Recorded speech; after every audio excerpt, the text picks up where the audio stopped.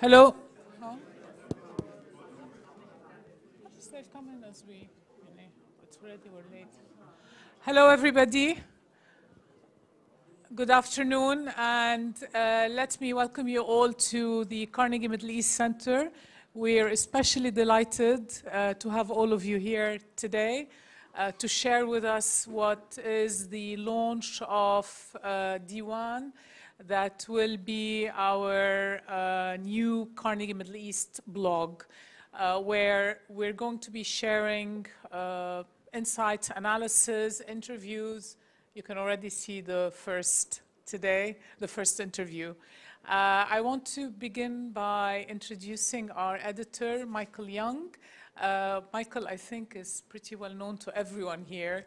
Uh, we were very lucky uh, to have managed to induce him to come to uh, Carnegie. He is now our senior editor, but also our uh, blog editor. Michael, the floor is yours.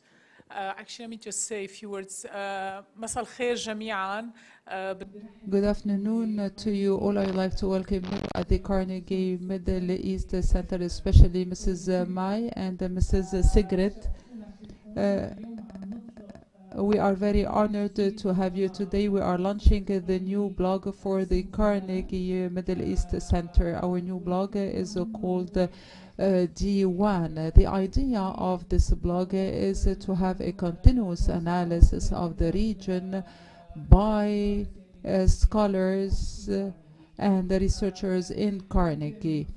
Uh, allow me to introduce my colleague Michael Young. I imagine that you all know him. Michael will be managing the blog and at the same time he is the senior editor of the blog in Carnegie.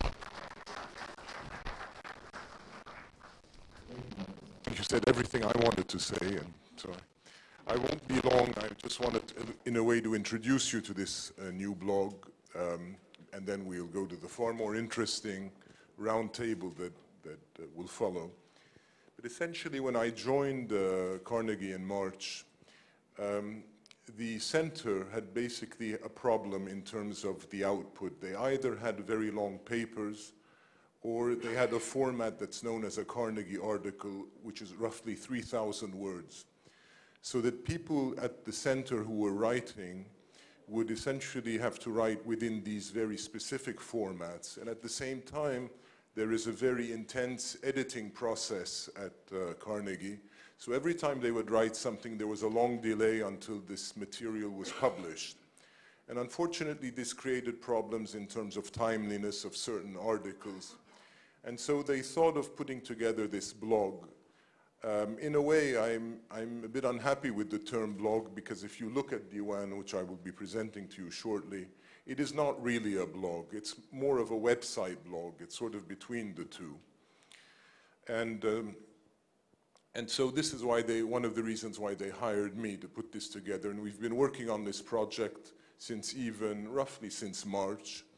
And uh, we decided that this would be a good time to go public. It's the end of the summer. Um, and essentially, I think the only thing I can really add to this conversation is what do I want to achieve as an editor in this, uh, with this, this new vehicle. Um, essentially three things.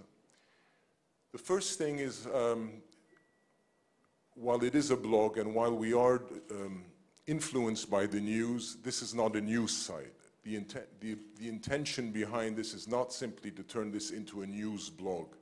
It's really much more about giving readers a context, a background, about essentially creating a much wider um, you know, context for them to understand the news of today. We have a large group of scholars, and the intention really of this blog is to highlight what the scholars have written, uh, and also at the same time to poke them now and then to ask them to talk about current events, daily events, in their own language, with their own knowledge sort of put on the table. So what you will see is a blog that in many times goes beyond the news, behind the news. Um, in a way, this is not, I, I'm not really limiting the scholars in time. It's very interesting. Many We have, for example, a, a- an article coming up next week, a post that will be on an, a group in, in, in Syria called the uh, Tala'a al-Muqatila that was involved in the uprising in, in the 1970s and the 1980s and the influence of this group on the, on the rebel groups in Syria today. So if you see, as far as I'm concerned, the thing that I want to do is simply not remain locked in the present, but try move around so that readers will always have something interesting to read. Create a context, as I said. I, as I said, that's a priority. One thing I would also like to do is surprise readers. I think readers come back when they're taken, when they're surprised by the news, when they're surprised by what's on a website, and that's certainly an intention of mine to try to take readers by surprise. Uh, hopefully, I'll be able to achieve this. Um, let me just make sure I haven't really missed anything before I begin presenting this to you. Well, perhaps I think I, we can go right into the site and let me just take you on a little tour. As you see, this is today's, this is today's page with, uh, we have an interview with Walid Jumblatt. Um, let me, here is sort of the, how you maneuver the site. I only use Mac, so this for me is a very strange device. Um, this is sort of, we're still developing this, but this is the regions that, that we're going to be cover. Ish, issues, of course, this is a work in progress. We're going to be developing this. Perhaps the most interesting thing is to see some of the contributors to, to the site. Oh, great. Health. ah, here we go. Okay. And these are some of the contributors. We have, all of these are either Carnegie scholars or um, non-resident scholars or people who are in the office in Beirut. Amr Adli Farea al-Muslimi, Perry Cammack, Joseph Bahout, who just wrote yesterday, Michele Dunne, George Fahmy, Dalia, who's just returned to the center, and so on. Um, Aaron Lund, and I will just, if you'll allow me to focus on Aaron Lund, some of you may know Aaron because he's been writing the Syria in Crisis blog at Carnegie for, for some time now. Now, Syria in Crisis has developed its own readership, and Aaron has really done a great job of turning this into a very, very interesting site. What we've done is we've integrated his Syria in Crisis blog into Diwan. So whenever you look at the front page, and I'll show you in a moment, um, let's see, how do we get back home here? Yeah. Okay, thank you. Ah, there we go.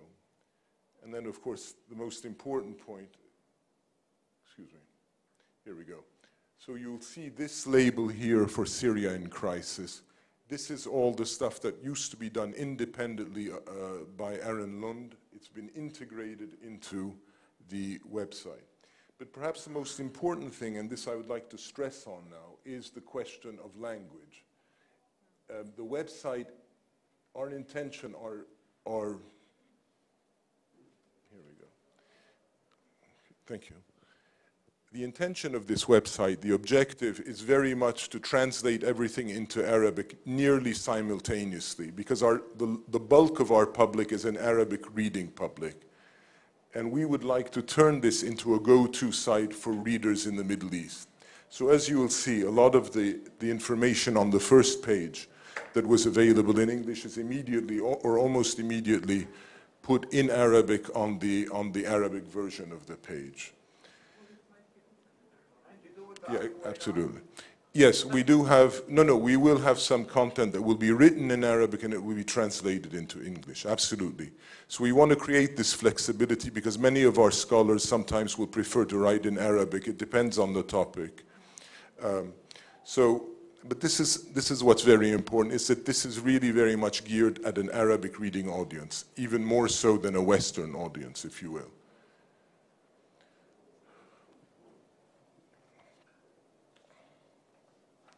excuse me.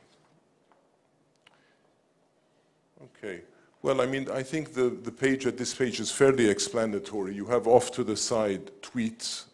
Many of us are tweeters, so they will, there will be access to their tweets that, that are related to this. There will also, some of you are familiar, I think, with SADA.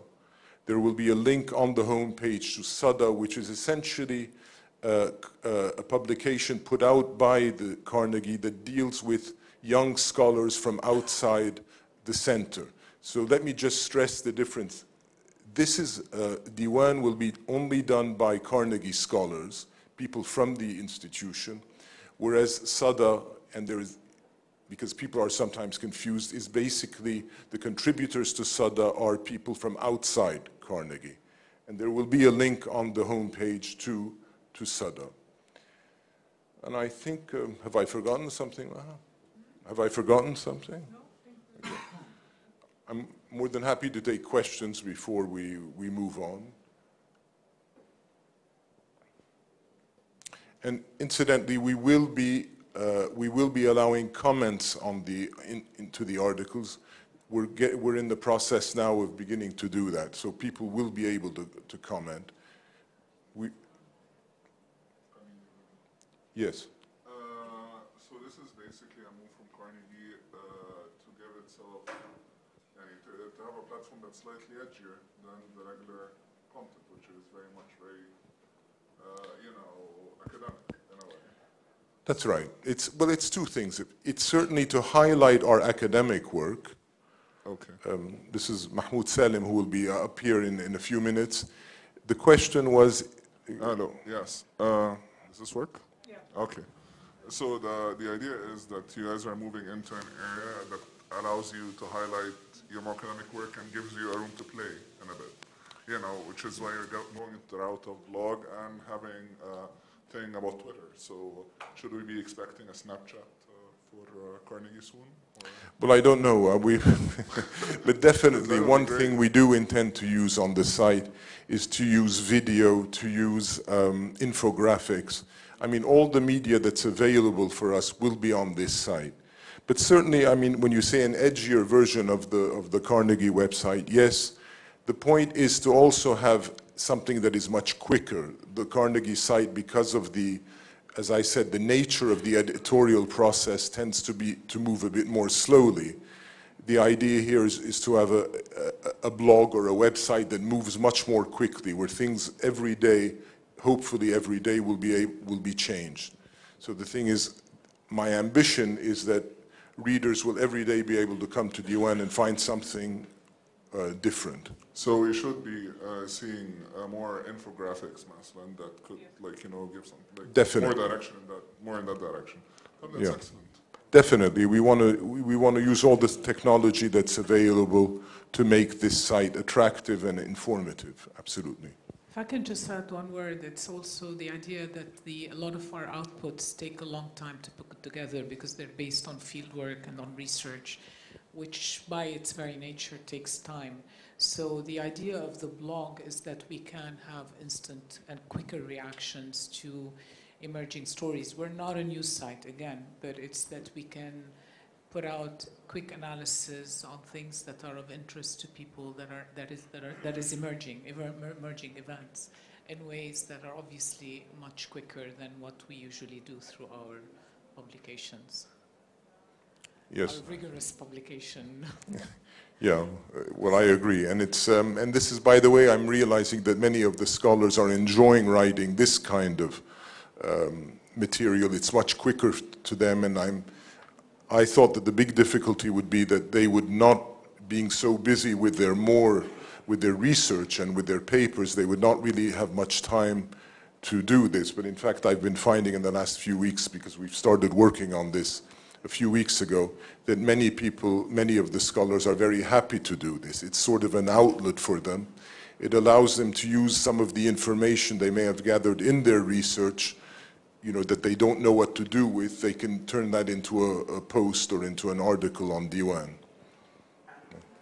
And for you, what's the difference between working at the, the Daily Star and working for uh, this um, website, blog, blog website? I don't know how you want to call it. Uh, well, several hundred hours a day. uh, that's the difference. uh.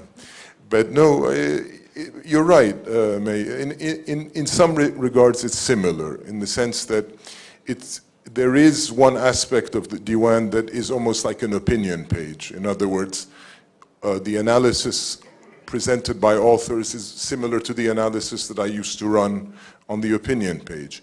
But it's also a bit different because, you know, in a newspaper, people tend to come to you, whereas here, you have to go after the, the scholars and try to, in a way, provoke them. You know, it's a smaller group of people, so it's a bit more challenging. We miss you on Thursday morning.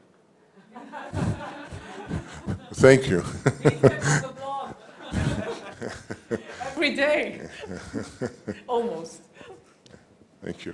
Okay, shall we, uh, Yeah, sure. unless there are Thank more you. questions?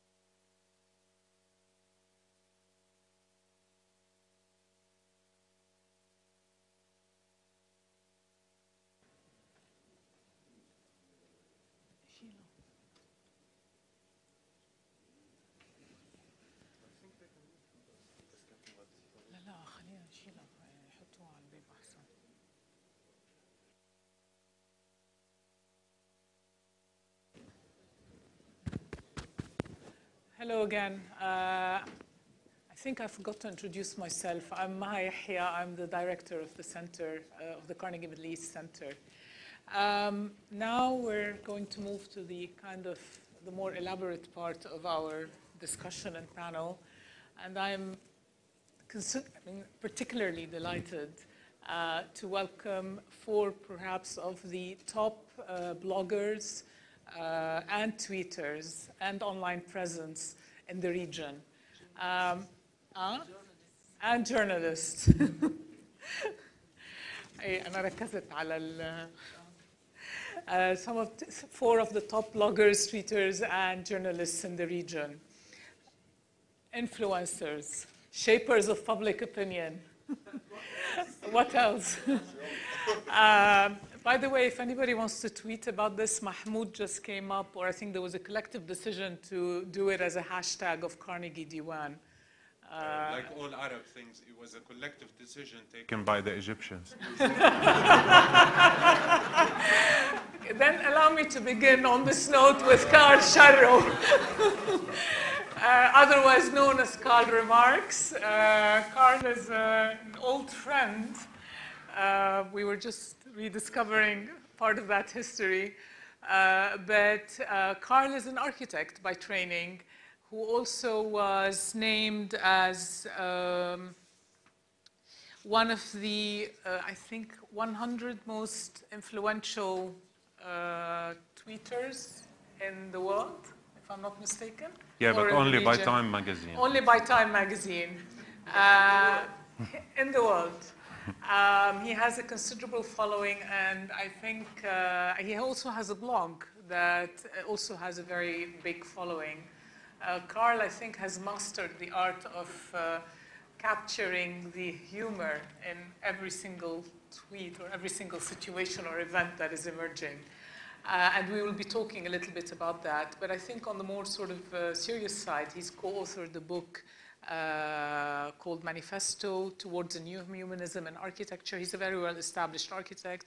He taught for five years at AUB, and he's written articles for the press, World Architecture News, uh, Mark Magazine, Novo, etc. Uh, he's also appeared on a number of uh, international uh, news outlets, including the BBC. Um, so Mrs. Karl. I will, I think I, what I will do is I will introduce the four panelists and then we can move into the kind of question and answer session. On my left is Sandar El Amrani, otherwise known as the Arabist. Um, Sandar established a blog, uh, when was the Arabist established? In 2003, so very, Very early. very early on in the curve. Sandar is a Moroccan-American freelance journalist and editor who is now working with the International Crisis Group uh, in Morocco. Uh, his blog, The Arabist, uh, was provided commentator, I mean, provided insights into events that were happening in the region far earlier than I think uh, blogs were even known in the, in the region. I know that it was a site that everybody would uh, go to, and it helped influence uh, a lot of uh, public discussions. it helped influence a lot of public discussions on the region at the time. Uh, I think it's sort of slowed down a little bit, but the Arabist is still very much there, and Karl will talk a little bit more about this to us. Uh, we also have Mahmoud Salem. Uh, Mahmoud is an, is an Egyptian, Egyptian activist, writer, and social media consultant. Uh, his blog, uh, that for anybody who was following Egypt, particularly during the revolution, was called The Sand Monkey. Uh, and it was very well known for criticizing the Egyptian government. Uh, he, was sh- he was shut down by the Egyptian authorities and was put on the death list, I think, of the Salafist movement, Ansar Sharia, at one point. Uh, his, his blog, actually, in 2006 also, uh, weren't you uh, given an award? Or I won in 2006 and 2012. 2006 was the Weblog Awards, 2012 was the Bobs, the Yeah, Best of Blogs Awards. Like, uh, So, award-winning blogger. oh, And uh, Miskil, uh, last but not least, actually, of course, uh, is Doaa uh, Sultan. Doaa is an Egyptian journalist who also uh, had a was a talk show host and the editor-in-chief of the independent online media uh, called Zaid uh, Plus 18. Uh, the site was launched in March uh, 2015 using You Are Free as a slogan. Uh, Doaa also has more than a quarter of a million followers on Twitter. So this is our illustrious panel. I'm going to start with a discussion, uh, with a question that I will ask uh, all four panelists, which is uh, just to get the discussion going, which is to talk a little bit about their experience as uh, bloggers and as tweeters, as uh, opinion shapers on virtual opinion shapers on the uh, web. I'll start with you, Doaa.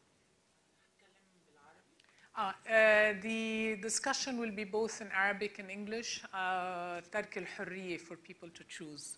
So uh, if anybody wants headphones, we have instantaneous translation in the back. تفضلي. Uh, Sorry, we, have, we, can, we, we can provide headphones. تفضلي دعاء.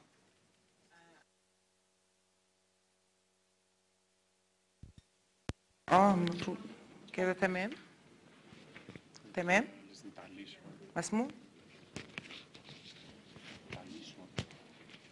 تمام تمام كده انا اسمي دعاء سلطان صحفيه مصريه My name is Doaa Sultan. I am an Egyptian journalist. I've been working in journalism since uh, 1999. I have worked in uh, newspapers. And uh, when we uh, started uh, with the internet, I started working uh, in uh, websites. As a journalist, I can say that there is a life before internet and another one after internet, and there is a big, wide difference uh, between uh, these uh, two lives, and also there is a big difference uh, in the interaction and the public. Uh, we had uh, before the social media era. Of course, uh, we had in the past uh, some uh, news uh, webs, uh, but we didn't used to have uh, interaction and we didn't have a lot of readings. We didn't have anything like sharing or, like. We just were receiving regular or ordinary comments. But of course, after Facebook, Twitter, and YouTube, and all of these social media, the life uh, changed and uh, we started to have a public waiting uh, for our uh, uh, our articles uh, people uh, who wanted to share to like or even uh, to insult me uh, to flirt with me. So we uh, had much more interaction uh, with the public with people. And uh, we noticed uh, that uh, the interaction uh, became a real revolution in the journalism. uh, and even life itself before internet uh, was very different uh, from what it became after the internet era and after the social media era the journalism also became uh, very different uh, and the social media uh, networks uh, started to surpass newspapers and journalism. And I started uh, benefiting uh, from, uh, of course, all my writings and all my analysis. Uh, my site, for example, uh, Zaid Plus, uh, became then very interesting. When an article was not shared on Twitter or uh, Facebook, uh, we knew then uh, that no one would read it. So life became very different, and I uh, see that the social media networks are uh, really a gift uh, to all those who work in the media world. These social uh, medias allow us to know what people like, what they hate, uh, what they despise. No one would have imagined uh, those uh, quick reactions and uh, those uh, fast interactions uh, that we starting we started to receive and how they were uh, influencing uh, life and all the developments. This is why we started uh, processing the news and the information in a very different manner, uh, thanks uh, to social uh, medias. Uh, So, uh, my experience with the social medias was a very enriching uh, one. And uh, even when I had a TV show, I was uh, seeing uh, the interaction and the reactions of the public uh, when I was inside the studio. Uh, those who are working uh, in uh, media and who do not benefit from the internet and from social media will be lagging behind. We should not underestimate at all uh, these uh, uh, social medias. Thank you, Doaa. Karl. Uh, no, building on, uh, again, what Doaa said, I think what was very exciting for me, because I've had a similar experience, although I wasn't a professional journalist. In the 90s, I used to write for Mulhaq al-Nahar over here, and, uh, you know, if you're lucky, 50 people would read your article. And then this amazing thing happens with blogging, where you can reach thousands and hundreds of thousands of people. So I think the really exciting thing about it was uh, creating an anar- anarchic, dynamic, open medium through which you can kind of come to the fore through the quality of what you're writing, not the institutional framework or the newspaper that's supporting it. in parallel with that, again, which is something that mentioned, there's a, a sense of friction that comes from uh, direct encounter with the public on a kind of immediate basis that's very healthy towards keeping your kind of uh, on your toes and, and kind of a very critical sense of engagement uh, that again was very exciting and I think uh, I personally started that and many other people started that during the Arab uprisings, which was a period that a lot of fast changes and people kind of requiring a sense of narrative and understanding of all. Um, by the way, anyone who expected me to be funny today, I'm really sorry. it's, going to, it's going to be very serious and boring.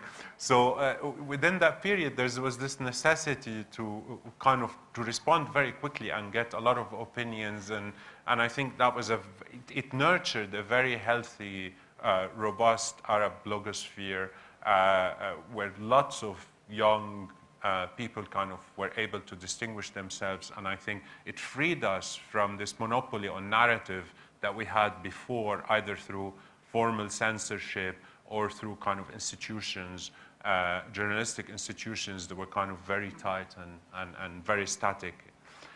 Now, the downside to all of this is uh, because of that is instantaneous nature of uh, blogging and tweeting and they kind of feed into each other, I think there's a necessary distance for any critical assessment that's not driven by immediacy uh, um, uh, that kind of comes under attack because people want an instant, instantaneous sense of gratification even with their ideas and thoughts. And the best example I can give is one of the greatest commentators on Egypt in terms of the human condition and its society and culture is obviously Najib Mahfouz. And uh, you always read about how he had to keep a distance from society in order to kind of keep with these observations, almost like this traditional idea of the flaneur. He had to kind of cut off the sense of engagement in always to create this space for himself uh, to write.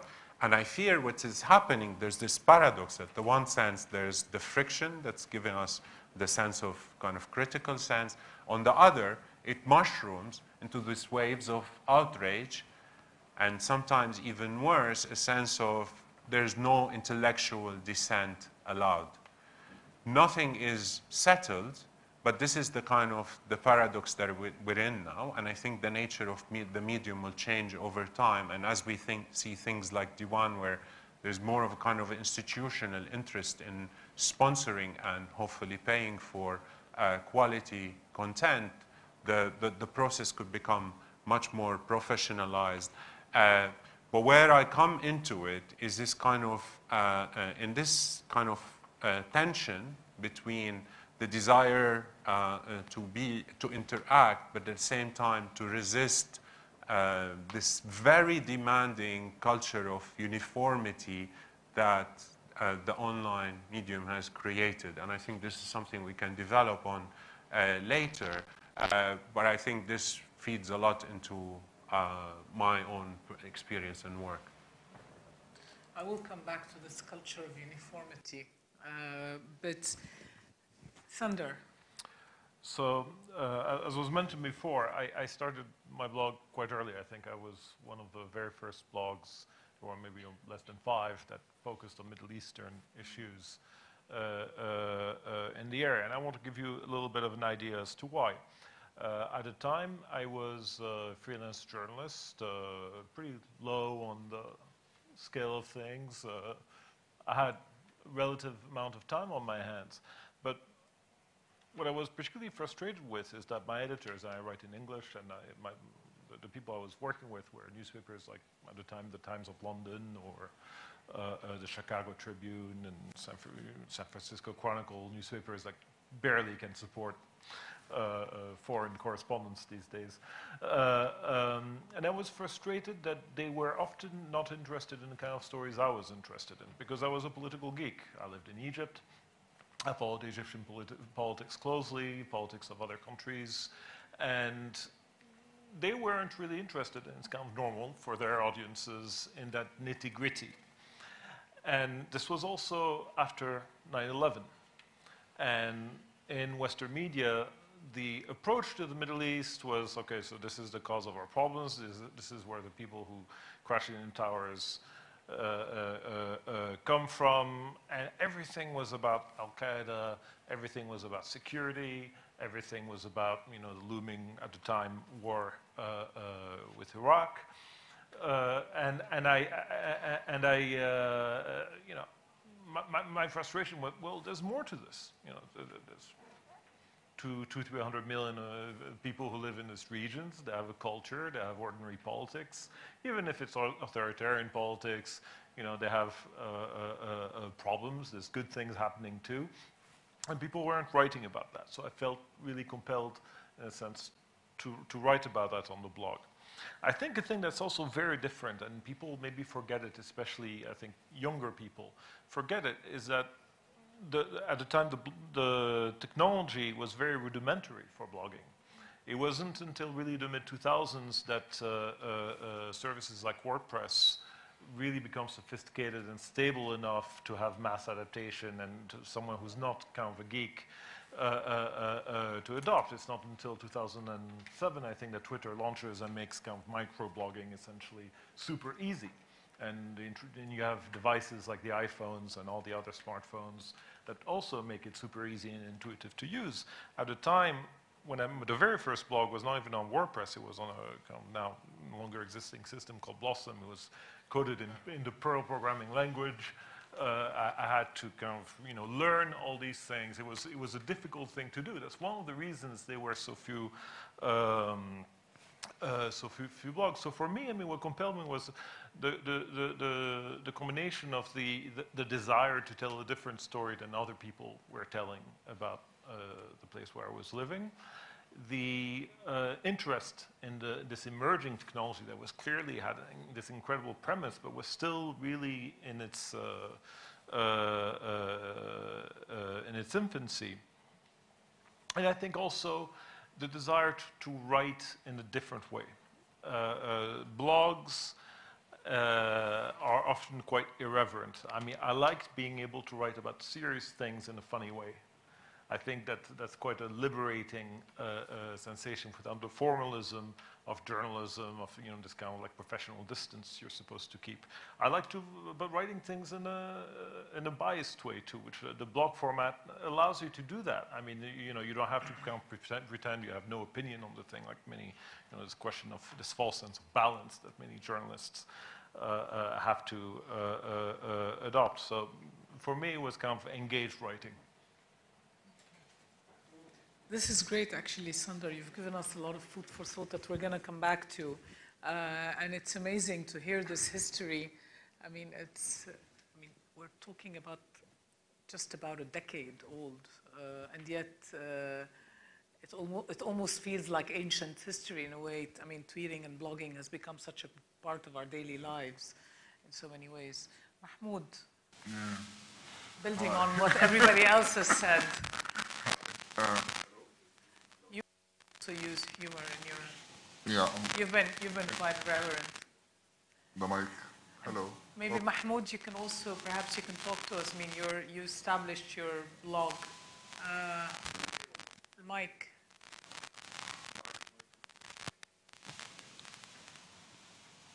mic. Hello. هذه uh, عالي قوي بس يعني ثلاثينيين لساتهم نحينا. اه شفتي um, okay so uh, what Yeah, that, what I was wanting to say is maybe you can talk a little bit also to the experience of being a blogger before, uh, during, and after the Egyptian revolution and what that meant. And I noticed you've stopped blogging for a while now. Yeah, I'll tell you why now. So um, I started in 2004, December 2004. So uh, Issandr is technically one year older than me. He belonged in the Khawagas for Change faction of the Egyptian opposition. KFC, indeed. um, when I first started, everybody asked me. I started after I came back from the States. When I came back from the States, five days later, there was a terrorist attack in Taba that uh, um, I barely escaped, basically. And when I came back to Cairo, everybody was like, they were very happy because Israelis were killed in that attack, and they're also blaming the Israelis for the attack at the same time. which was the first time I got introduced to the idea of Arab cognitive dissonance, you know, in a way. And uh, that's when the actual blog ca- idea came. Uh, it became an idea to like, I think it was one of the first contrarian blogs, you know, the idea of dissent in a way, presenting a different point of view altogether, is just to spark discussions because that's the whole idea. And when I first started, I chose the name Sand Monkey. And I always get asked why I chose the name Sand Monkey.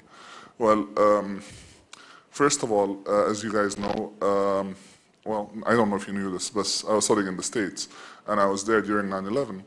And uh, during that time, I got introduced to a whole host of, like, you know, derogatory terms for Arabs. And um, I, had, I had two favorites, basically. One of them was Hasn't Been Laden. That was a favorite of mine.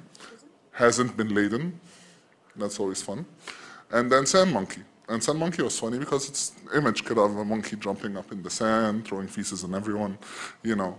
So um, I decided to do that, and that's why when you go on my blog, you'll find uh, this other statement underneath that says making white people uncomfortable since 2004 because it really made a problem for the media to quote me because they would be like you know this blogger called sand dash monkey or like whatever or like they'll choose whatever other name but yeah, the idea was um, we're at a time of change. Everybody was talking about democracy at a time, and it was interesting to present something like that in English to an audience Later on, um, I became, I wasn't an activist at first. I mean, the blogosphere in Egypt was basically choice of people. It was activists becoming bloggers, bloggers who became activists, and bloggers who stayed bloggers. I think you're the blogger who stayed a blogger. تمام. حال. Alaa, for example, was an activist who became a blogger. I was a blogger who became an activist. So um, it was interesting because I started getting lots of traction because of the name, you know, specifically from the weirdest of places on the internet. And uh, that was the first lesson. I had an audience. I had lots of comments coming in that didn't necessarily have to come from Egypt. But that in itself made it prominent, and that in itself made it important. You know, so the first lesson was, you know, audience building. As long as you have an audience, it doesn't matter what the audience is, people will respect it. You know, and it will give you authority, which is mind baffling because you can buy an audience, by the way, or you can appeal to an audience, and I'm not sure that this is the best way to do so.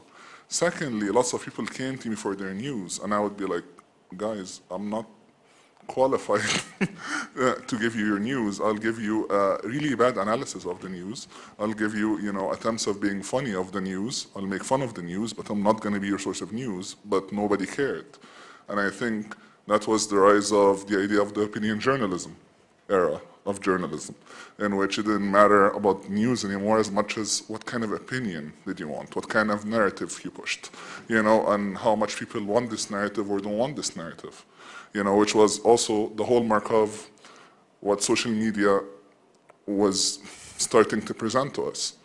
Uh, when we started the blogs, it, we didn't know that social media would exist. It was called the blogosphere, and we thought we were on the cutting edge of things. And everything that we utilized later on, yani, we used the blogs in order to organize demonstrations. And then Facebook came along, and suddenly had Facebook events. And you were like, hey, all right, we'll use Facebook then. We became early adopters of Facebook. And then when Twitter came, it wasn't on smartphones, it was on SMSs. And we would use it in order to find out who is getting arrested where.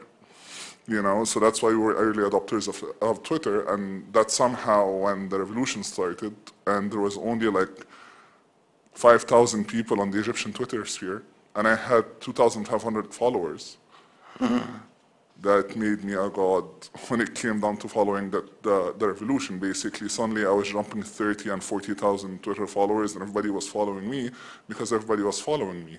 And it was one of those like vicious cycles that are all the time. If you're getting lots of followers, you'll get lots of followers and that's just how it works. Now, after a while, I started uh, doing consulting. During the revolution, you kind of, you know, need to make money at the same time. And I had, and I have a company that works in digital marketing, and I provided consulting specifically even to uh, media institutions and non-government organizations. I mean, uh, recently I've created digital uh, strategy for the Launch Site Research Unit at AUC.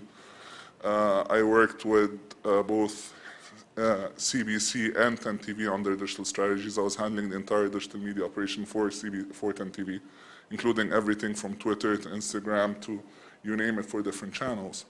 And it's interesting because, you know, everybody was still looking for that audience. And it becomes interesting to see this discussion is happening here. It's interesting to see talking about it, how the audience shaped the story. All the while, I've worked on so many of different audiences that there is an audience for everything literally. You can create an audience, you can, you know, shape it. Uh, but at the end of the day, in order for you to become somewhat relevant, I think now more than ever, you have to understand what the internet is about. And the internet is driven by, it's very weird to make a generalization about the spirit of the internet in a way, but it has this spirit, it has this anarchist, anti-corporate, anti-war spirit that is very libertarian in a way, that is very skeptical of authority, and at the same time is very unforgiving towards any kind of display of hypocrisy, it states. So it's become this force that, you know, very few people like, you know, can claim to control and wish to harness, even though in its core it's very both destructive and awesome. You know, for, you know, if you want to shame someone, for example, if you want to hold anyone accountable, it's brilliant, but it's also very scary. So, uh, good on you, Michael, for taking it to this, you know, frontier. ربنا معاك. And uh, that's it. Thank you. Thank you, Mahmoud. Uh, I mean, I've been hearing from sort of some buzzwords from everybody shaping an audience, creating your own audience, irreverence, uh, anti establishment. None of you said this, but I'm saying it. I mean, you've said it in different ways. Um, let me ask you, and challenging a kind of a mainstream narrative. In an era today where obviously the state no longer has control over narrative, where, uh, and obviously a lot of the, I mean, both of you talked about the reasons why your blog emerged was to challenge these kinds of mainstream narratives. Now everybody's challenging these narratives on Twitter. What do these developments mean in terms of um, censorship, in terms of fundamental freedoms? I mean, in a country like Egypt, where the return of the security state in many ways is very clear, but in other places as well, uh, the pushback against this irreverence that you talk about is quite strong. So, what does this mean to us today in terms of bloggers and tweeters? Not so speaking about Carnegie, but people who actually write and blog and tweet about the region. Uh, I mean, some have the luxury of being able to tweet about it from outside. I, I'm, I'm not, uh, but uh, no, but I mean, the you know when you're actually also living, but I think both sides of the coin need to kind of be discussed. Karl, we can start with you. And then Yeah. Um, sorry. Go first. No, I was. okay. It's yeah. uh, it's interesting because in Egypt, for example, if we're talking about journalism, right? Uh, my argument is that there was never true journalism in Egypt You know, before the revolution, uh, you had two types of journalistic schools, basically. One of them was journalism that is in opposition of the state, and the other one is journalism that works as a mediation between the, the people and the state. So if we're talking in terms of مثلا something like El Dustur operated as an opposition to the state. You know, so it was only about oppos- opposing the state. And then El Ahram or El Masri Al-Yawm or El Shuru, they operate as mediation with the state. So after the revolution, when there was suddenly no state, nobody knew what to do. You know, opposition newspapers ran with whatever but stories that they wanted to run before that didn't necessarily have any backing to you know, and that suddenly when everybody started asking, what about, you know, sources, what about this, what about that, everybody screamed freedom of speech and freedom of press, you know, and that should shut everyone up. And that in itself led to the rise of other portals and other news that would just target bad revolutionaries and claim that they're funded by those people and that people. And suddenly you had a situation which you had freedom of speech, all right, you had, but you had no truth, you had narrative you know, and everybody would choose their narrative. And that narrative, because you can choose your audience, it becomes very easy to manipulate huge parts of the population for or against your side. you know, and you no longer need to cite any kind of citation or whatever because nobody in the journalistic world, very few people, I would argue, in the Egyptian media scene, and even fewer people in the Arab media scene, actually do follow journalistic integrity and do follow, like, you know, schools of journalism of citation otherwise. So I think we are, yani, yes, the state is, you know, does, does its own oppression in a way, and it can go after you for, for, for showing opinion or whatever. But in Egypt specifically, it's very interesting how they're very much interested in people who write in English now as opposed to Arabic. They're targeting people who are writing about Sisi in English, you know, as opposed to Mubarak. Mubarak days, they're all against, you know, people who wrote in Arabic because they're afraid of internal issues. But Sisi is very much concerned about his image outside of the world, that he goes after researchers and people who write, you know, for like, you know, for international institutions or whatever. So I think it, it becomes very interesting to see what kind of priorities that they have, also in a way. That's it. Oh, sorry, Karl.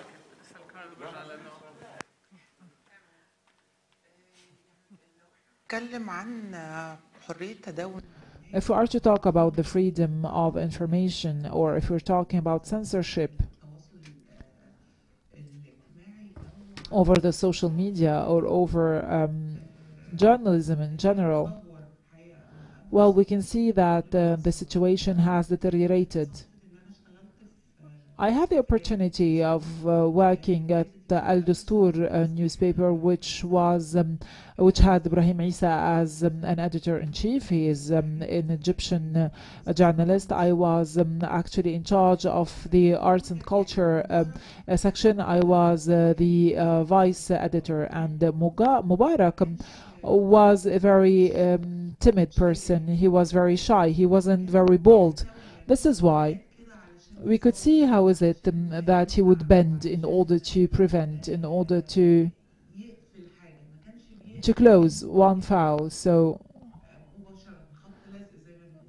he wouldn't actually change his um, uh, opinion out of the blue. So what happened is that they would send someone from them who would buy a newspaper from another um, uh, from another businessman and then the day next uh, the day following uh, the change of the ownership the editor-in-chief would change which means that the full experience would end because once the editor-in-chief is gone everybody else will go. So people had different ways of working. They were shy they weren't very bold. People would actually bend would twist them and and um, However, today and after the revolution, the situation was supposed to be more aligned with freedom because um, uh, the revolution started in order to kick off uh, freedom and liberty, which was actually its main uh, cry out. Now, the situation has deteriorated enormously after the revolution and during the first year after the revolution, there was um, an excess of um, cash and of um, um, uh, there were actually an excess of um, expression of freedom of expression. To what extent can we actually discuss uh, the possibility of seeking information? Are we talking about now? No, we're talking about back in 2011.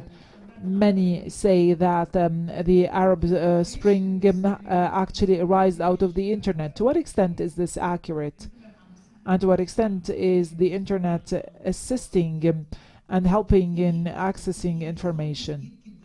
There is actually um, a new problem, um, uh, and it would be actually unfair to say that the Arab Spring arose from the internet. Um, it's true that um, uh, the Arab Spring has benefited, or the Arab uh, revolts have um, ben benefited from the social media. Of course, we cannot um, annul the role of Facebook and Twitter. Um, however, the number of uh, supporters or the number of persons who um, uh, who uh, actually um, have disdain for um, this um, uh, information is different. Or so, as you know, there are many rumors. No one knows what's true and what's false. Insofar as we have information that you wish to convey, or that you wish to access and that is available everywhere. Nevertheless, there is no one who could ensure that you have a source of information or a source from any origin in order to verify a specific information. So, we have plenty of information, however, in order to verify information, it's impossible. Journalists had a very sensitive um, task and mission because we have no law on um, information or on the circulation of information or one that would govern information. It all depends on how professional the journalist is and on the extent to which the journalist wishes to be trustworthy, to have people who believe in him, who trust him. A journalist that has credibility. Journalists are today writing anything and no one cares about credibility, no one cares no one cares about verification of information. There is no law that is governing um, information and information and you not know to what extent the information is the property of um, X or Y person. So who is in power? Even the power itself. When you ask the power itself or the authorities themselves, they would tell you where did you get the information from and then we verify and we uh, are sure of uh, the information. So i believe that there is a state of tension there is a state of anxiety that makes that that makes journalists incapable of working properly.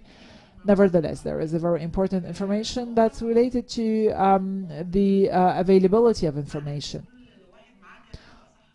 So um, now um, journalists are only people who uh, own a camera now here journalists are playing a very important role.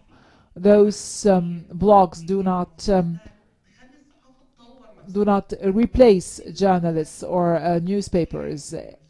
But of course, we're talking about healthy environments. We're not talking about an environment as ours, where we have um, journalism censorship in Egypt. Now, um, it is expected that the social media is required to facilitate the role of journalists, their capacity to verify information, so that if a journalist is um, uh, in presence of any information, then he is supposed um, to investigate this information to ensure whether this information is uh, available or not, whether it's accurate or not. However, this will not occur as we expect it to occur as a result of the lack of a law that governs um, information and the availability of information in Egypt. Now it happens that the internet and the social media has given the opportunity to every person to provide the information he or she believes to be appropriate and to um, to actually build his audience accordingly. Yes, however, um, at the same time, the social media and the internet um, has become the voice of the voices people. They are uh, actually the speakerphone of um, or the microphone of every individual. However, it's at the same time the microphone of authorities because the authorities are now turning their back uh, to traditional media to um, any media that would not be very accurate in terms of um, describing authorities. However, many would benefit from the social media, authorities would benefit from the social media because they have their own audience, they have people who talk about them, and by the end of the day, authorities have uh, benefited because the audience was believed to have not benefited from them. This is why we have many people over Twitter and we have seen uh, that there are committees who have been established um, in order uh, and uh, who are taking money as well. Um, as somebody who comes from a non-journalistic background, you're an architect, uh, and yet you are you've, you have become very much of an opinion shaper. You use humor a lot also and satire in your uh, in your tweeting as well as in your blog. Can you maybe talk a little bit about this, what this means in terms of not only the inability of states to control narratives, but also um, the way people's access to information has changed. I think people's attention span has changed. Uh, I mean, the ability of people to, or the, the, even the willingness or the time they have to read long uh, articles, Hmm. I think the attention span is really strong, uh, shrunk. Uh, if you could just. Uh, Let me start from the last point. I think it's yes and no, because uh, throughout my sort of short career in blogging and social media and all of that, I wanted to test the thesis whether people's attention span on the one hand is really has been reduced and whether their ability to absorb complex ideas has been reduced as we so often hear. And I think my conclusions are no, they haven't, because what I tried to do is uh, to kind of go over this, uh, the snark uh, attitude that passes as satire on mainstream media and on social media. In terms, of, it's very infantile. It's kind of singing to the choir. You know, it's either a liberal, so-called satirist appealing to the liberal instincts of their audience, or a conservative, as unfunny as they are, trying to appeal to their conservative uh, audience. Uh, so I'll give you an example of one of the things that I did because uh, we, ha- we had this uh, obsession with trying to find out what caused ISIS, and it always had to be the one thing. You couldn't have two things. So someone would discover, oh, it's climate change. And then all the headlines for the next week will be climate change caused ISIS. Or it would be, you know, it's something intrinsic to Islam, and then everybody would follow that trend. And, and, and it kind of, it was like a, such an infantile setup of this, this it, you can't have complex ideas, you can have oversimplified ideas. So I did what I called the one sentence explanation for the rise of ISIS, which was, it's one sentence that ran to uh, 250 words, and it kind of put everything in there, you know, social, economic, ideological failures of the Arab left and liberals and la la la.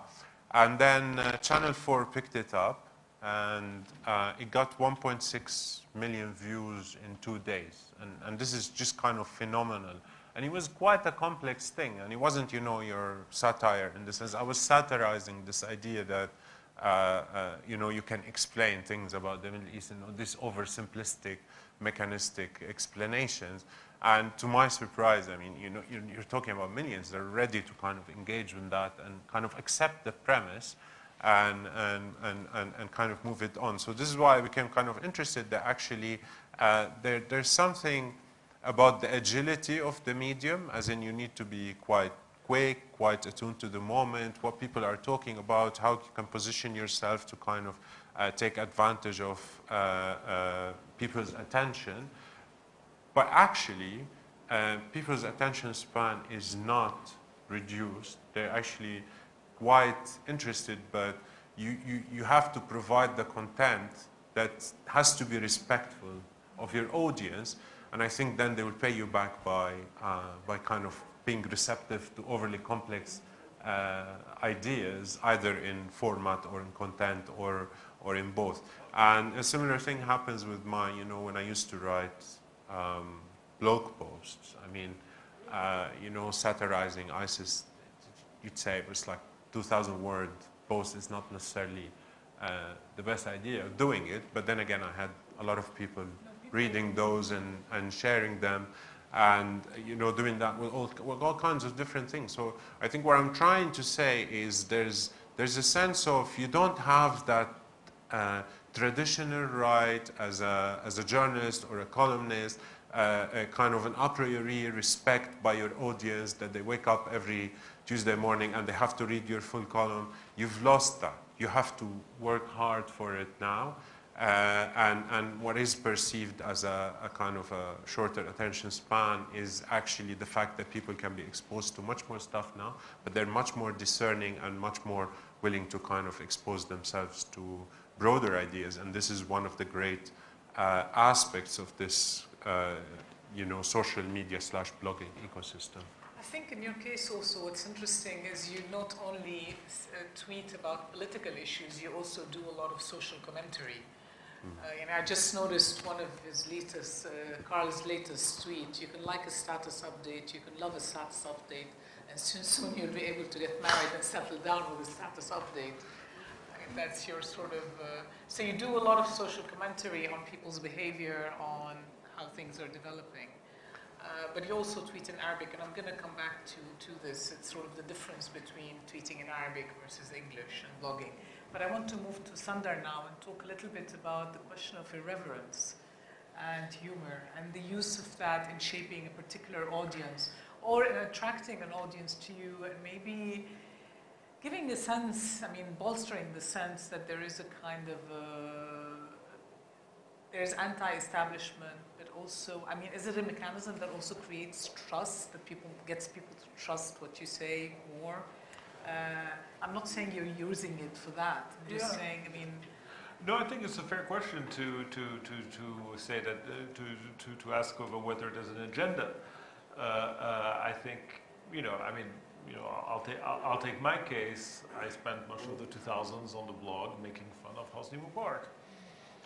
Uh, and, I almost, I find him almost endearing. But, and, and, and, and, but I made fun of his, you know, inept regime. I made fun of his corruption. I made fun of his, uh, uh, uh, uh, the, you, you know, his, his, uh, the way he was clinging on to power. And, I think many people were doing that on blogs, on, on social media, just before the 2011 uh, uh, uprisings. I think, I, I mean, I, I wrote a long article on uh, in foreign policy, I think in December 2010, about jokes uh, about Hosni Mubarak throughout the ages and jokes that Egyptians, you know, Egyptians are great joke, um, make fantastic jokes, and and um, and I think there was a lot. One of the things that that that uh, the internet uh, made possible was a lot of people being irreverent about uh, leaders in a way, or or even just questioning them in a way that, that wasn't really possible before because the newspapers were controlled, were owned by press barons or by the states. The, te the television and radio stations were almost entirely owned by the states outside of countries like Lebanon. Uh, uh, the, the, the um, you know, even if you had a relatively free media, there were uh, uh, all sorts of red lines uh, that you had to respect. The internet often allowed you to, to, to break uh, uh, those boundaries. Uh, now, I think, you know, there, there, there can be a problem when everyone does that all the time. It can tend towards the nihilistic you know, where you take nothing seriously and everything's a, a, a, a game and so on. And that's, that, that's a problem in itself. I think it's something that we have to watch out for. If we, if we, at the end of the day, if we don't believe in anything, if we just attack everything, you know, it's not particularly constructive. It doesn't particularly help anything, especially when the region is in the shape that is in, the disastrous shape that it's in uh, uh, uh, today. But, but I think also, I mean, using humor in talking about serious things does help first, I mean, diffuse. It introduces, I think, it, gets people into a comfort zone. Uh, it opens their mind, I think. It charms them in a sense. Uh, it opens a mind maybe to think about things differently. When I started about it, I mean, remember when I, when I started making fun of Hosni Mubarak, writing in English to, uh, uh, uh, you know, the most connected people at the time in the world were Americans, to an, so, so maybe to a largely American audience, the entire uh, press establishment in the US, the entire think tank establishment, thought of Hosni Mubarak as that good guy, you know, who, who, who's, who's maintaining the peace with Israel and, and generally helps us out around in the Middle East. And that was the narrative then. That narrative changed tremendously over the course of the 2000s. And I think same thing about the Ben Alis, about Gaddafi, sorry? So that was you? So I'm not saying that was me, it was, but, but, but I think Yeah. you and I No, no, I play- get that. played a little role on it. uh, Play, played a role in it, you know, breaking that, that, that, that kind of taboo that, that you always have to be reverential to these uh, leadership figures. Plus, we kind of had Gaddafi at the time. yeah. You know, we miss him sometimes. You know, like, I've, I'm not sure we miss him. we don't really know. that's another, I will leave that to another time. Yeah. Now, I'm going to sort of wrap up with maybe uh, ask you if you each have a kind of a final comment, but also ask both Doaa and Karl, since you both tweet in Arabic, to maybe talk about the different experience of tweeting in Arabic uh, versus English. And Doaa, if you can touch a little bit about the, you know, being a woman blogger, is that different or not? طبعا مختلف uh, جدا. So تحكي شوية عن عن uh, Maybe you could talk to us about uh, you being a woman and a blogger, and then we open up for discussion. The experience is very different uh, between a man and a woman in our uh, Arab societies, uh, generally speaking. I had a, phase, a page on uh, Facebook on my name. I uh, had 340,000 followers. I closed that page in 2013 despite the big number of followers to the page and despite the big interaction I had on that page because I received a lot of insults, of threats, of uh, calls because I was a woman. Of course, I am a journalist, and I wrote on that page that I was a journalist. I had uh, 342,000 people following me. So I decided to close uh, that uh, page. I didn't want to do this on uh, Twitter, uh, even uh, though uh, no one can control uh, the insults uh, uh, on Twitter. But I left uh, Twitter for around one year. Of course, the experience is different uh, because uh, as a woman, as a girl, as a lady, as a younger woman, you are under a lot of insults, uh, be it from the Islamists or from people who do not have uh, the same opinion uh, as I had. So all used to deal with me as a woman. the Islamists, uh, the paper, the people in favor of the uh, government or the supporters of the government, all had the same mentality, and all uh, put me under the same threats. Just because I was a woman, I was strong, I had an opinion, and I had a public.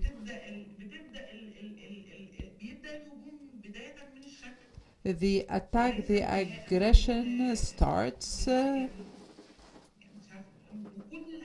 in the appearance, in the form.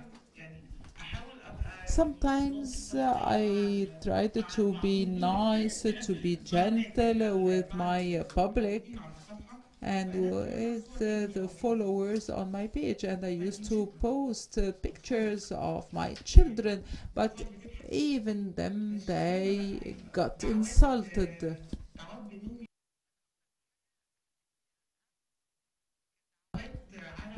And uh, I decided to close that page because I received uh, a lot of threats uh, or a lot of uh, wishes that my kids would die. Maybe a man would face different threats, but these threats I was confronted to were specific to women. And uh, of course, maybe uh, men would receive uh, some uh, comments on their articles, uh, on what they uh, wrote, uh, but uh, not as many as I received and not as uh, fast as I uh, uh, did. And uh, uh, the aim of these insults was to distort uh, the reputation and the honor of uh, uh, of the woman, of the lady, even if she is a blogger or a journalist.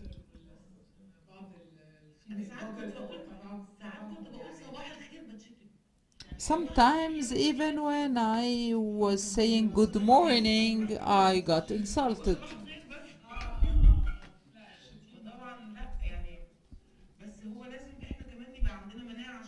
But of course, we should be resilient, we should be resistant. And now I put uh, anything, any comment on Twitter, then I go away. I, I found that this was uh, the best uh, solution to deal with, tho- with those who insult me and who wanted to uh, destroy my reputation and to tarnish it. Immense pressure then, uh, I mean, particularly manifests itself with regards to women, but I think the kind of the glimmer of hope over there is it's allowing so many women across the Arab world to come into the, you know, public sphere on their own merit, on the merit and quality of their work. It's back to that tension. Social media gives you an audience, but gives you a lot of undesirable people at the same time. We're going to find you can't pick your audience. You, you, you- you kind of you have you have to find this immunity, this sense of, you know, I, I don't want to concentrate that. I'd rather concentrate on the positive. Uh, but certainly, I would be against any form of kind of formalizing that into a kind of censorship because that is definitely destructive to Self-censorship.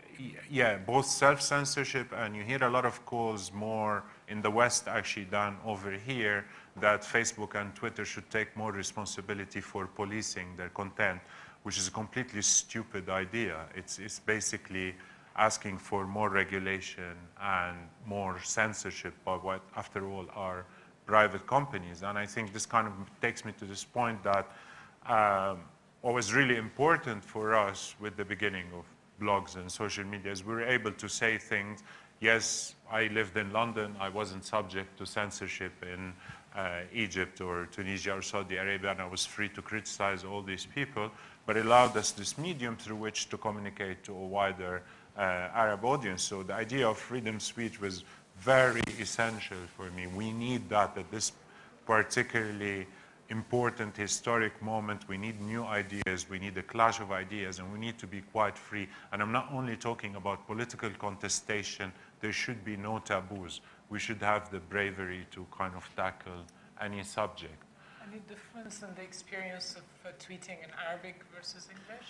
Well, I have to admit, I'm very boring and uninteresting in Arabic, both, both, and, uh, and, and, and it was an experiment. It still hasn't succeeded. I've tried it both in, um, I mean, when I'm writing serious articles, a serious article is a serious article.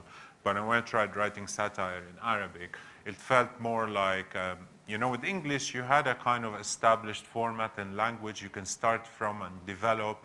Uh, in Arabic, it's kind of, it's particularly very heavily locally flavored. So you can do it in a Lebanese way or an Egyptian way, and you can't do it to the wider Lebanese audi- uh, Arab, Arab audience. That's, that's so Lebanocentric.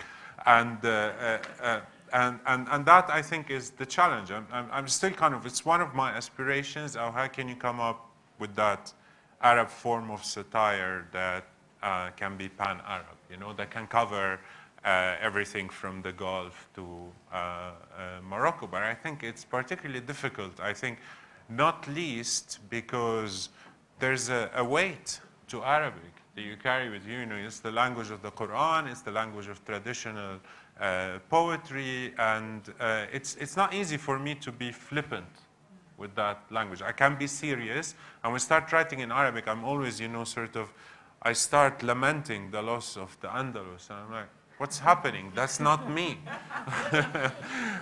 so it's much easier for me to be uh, flippant and irreverent in, uh, in English, To but I, visuals. and uh, absolutely, I mean, that was a big part of it. Uh, when, you know, one visual could be much more effective than a whole blog post sometimes, and we can take, talk later about that and the question and, uh, and answer. But I think that, that challenge is still there and, and needs people, you know, to, to meet it, the challenge of writing good satire in Arabic. Sandra, comment. final words. Final on this question of satires. On and- question of satire, but also on, I know you don't, uh, I don't think you tweet in Arabic. It's mainly in Oh, no, English. no, no, you don't. don't- you- so- En français, c'est vrai. بس بالعربي مش مش كثير. Uh, يعني I to mean, reach, uh, to reach your audiences. I mean, I, I think there's one thing that that that uh, uh, uh, I think several people mentioned. That's that's uh, important in terms of the, the, you know this idea that you have an audience, that you have people, regular readers, that come back and read you. They look, you know, they, they wake up in the morning and you might be one of the sites that they check in the morning, and and uh, or, or Twitter feeds or uh, and so on one thing I think that's very important for anyone who's interested, perhaps in the audience, in, do, in, in doing this, is, you do have to show up every day. It is something that you build by, by being there, by being consistent, by being consistent in terms of quality, by being consistent in terms of quantity. Uh, uh, uh, and so on, and, and be, because as, as I think as Karl pointed out, things move fast. You know, there's, there's if you want to maintain that audience, you, you, you have to work for it, but also but because that's what earns you that loyalty of that audience is that they know that you're uh, uh, reliable, reliable both in, in, that you know you're not a liar and that you're uh, you're delivering quality, but also reliable in that uh, in that you're going to, you know if you have this ambition to be a voice on a particular topic that you're going to show up when it's uh, uh, when it's relevant. I often wonder actually about Karl, how much pressure does he feel to be funny? Because no one feels like being funny Look, all the time. I haven't felt any You, you know pressure. pressure. uh, uh, uh, you know, uh, uh, I, I feel. I mean, I, I'm I'm less active now for various reasons, for professional reasons uh, than, than I used to be, because I have to have a certain kind of distance. And I can't afford the irreverence because I, for my work, I need to go and meet people who are in power and so on, uh, uh, uh, and be able to travel to countries like Egypt. Um, but the the uh, um, it's very, it's incredibly frustrating sometimes. But but the the, the uh, one one of the things uh,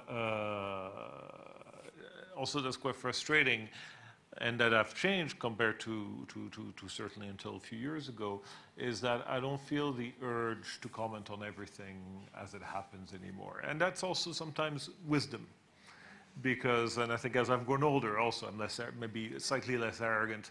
Uh, uh, it's another thing, it's another, it's another thing that you learn. Like I remember getting, you know, my first like proper internet account like slammed down where someone you know, shut me down in a, and they were right to, was probably commenting on Lebanon, a country I know very little about and so on. And you know, it's it's very complicated here.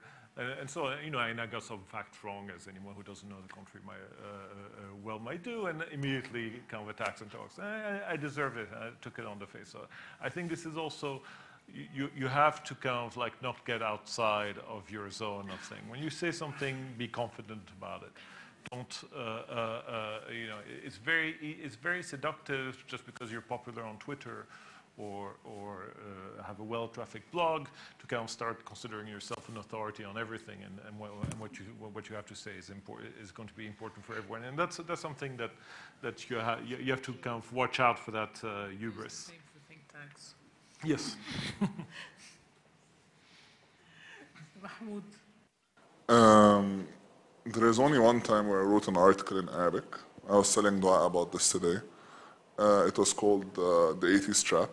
And I wrote it, I didn't even put it on my blog, I put it on a Tumblr. Uh, Tumblr, you know, not, you know. And it was insane. I was telling her because it ended up striking a nerve. Like, I didn't even write my name on it, everything. It was read by six million people. Like, it was shared all over, copied and pasted. And that was the one, the one time in which I wrote something in Arabic. And that was the only time I'll ever write anything in Arabic. Hell, because it scared me, you know, how fast it went and like how much of a big an audience it gives you, in a way, you know. but the other reason, yani, I'm, I'm, as we're talking about, we've been doing this for like 12 years or something, 11 years. So there is some sort of fatigue, right, that sets in. There is a sense of, yes, I, I don't want to uh, every day, it kind of becomes like you're documenting a series of unfortunate events, especially if you're talking about the region. But what, uh, what's even more frustrating to me is that uh, every single day, especially if you write in Arabic, you find yourself engaging in discussions that you have had 10 years ago. You know, specifically when it comes to social issues and political issues and historical issues, or like, uh, or whenever you're dealing with an issue regarding, مثلا, Israel or Palestine or Sunni Shia divide or whatever, you know, and specifically when you do this in Arabic. And I think that the problem in that is that the Arabic speaking intelligentsia that we have in the Middle East suck.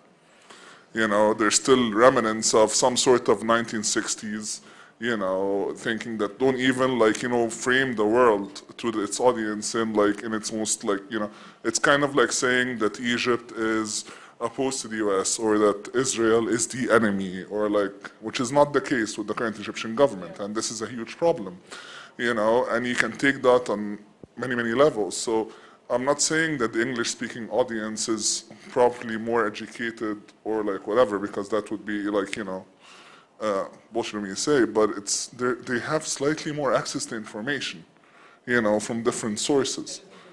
Yeah, there isn't as much. So the issue then, the, the issue becomes that if you want to get an audience, you can seriously be talking about the most rudimentary ideas, you know, and some people, and a huge number of people will think of it as breakthroughs.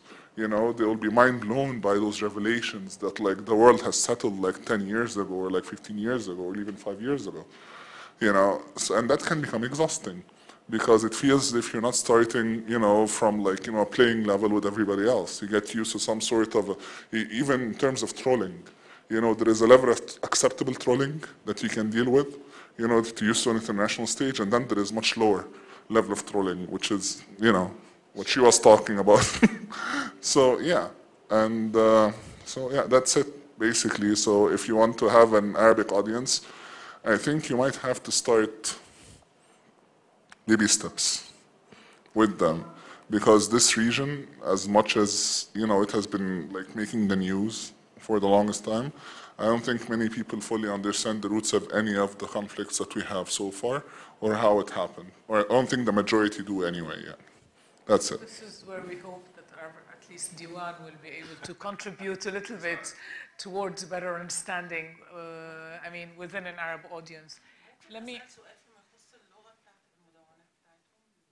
إنجليزي إنجليزي إنجليزي بس في النقطة دي اوكي ما ينفع آه، السؤال لك وبعدين I'll open it up to the audience انا انا عايزه اعرف يعني انتوا بتكتبوا انا اسفه م- حد هيترجم لو في اه عم حد عم بترجم عم بترجم اوكي آه، أنا- when you write your blogs in English or in any other language, what is the role of your blogs in your societies? What are you providing the uh, Arab readers with? What are you doing to raise the Arab readers up to your level? I really find it strange uh, that you're not uh, uh, you're not uh, writing your blogs in uh, Arabic. clear than this خالص انا ما اتعود- متعودش على الكيبورد العربي بس اصل انت بس. لا اصل الكلام كان بس. عن ان أنا مش ه... إيه، مش هنزل القارئ ومش ه... ف... بقول مش هنزل للقارئ أنا بقول لك ان في I didn't say I will not uh, uh, go uh, or uh, come down uh, to the uh, citizens. I'm just uh, saying uh, that uh, uh, we have a difficulty uh, to communicate with the Arab citizens. We cannot say that there are Arab readers in the Arab world. though We have uh, different uh, uh, readers from different nationalities in the uh, Arab world. Of course, I am not here despising or underestimating uh, the Arab citizens. I'm just uh, saying that. Uh, when you look to the news in the Egyptian newspapers, they are pushing for uh, Western ideas.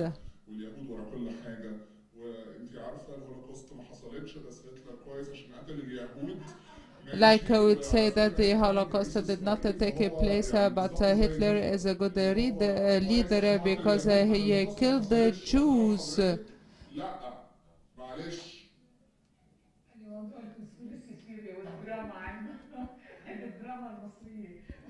This is uh, the Egyptian drama. Egyptian soap opera. I'm now to open it up to the audience. Uh, any questions, uh, comments? But the only thing I would ask is if we can please keep it uh, short.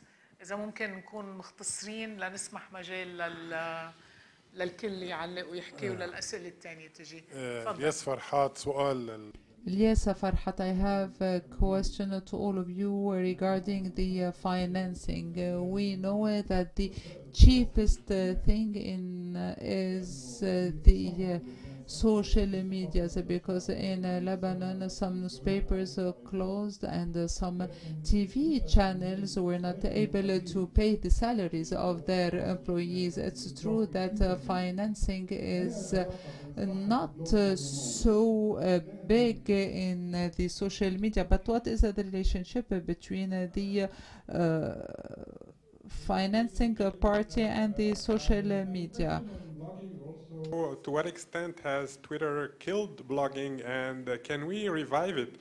Because honestly, I've been following uh, most of you for uh, several years now and uh, I miss uh, the blogs. For example, Mahmoud Salem, I've been following him ever since he started blogging. Initially, I did not like the guy, honestly, because you were speaking from a contrarian perspective.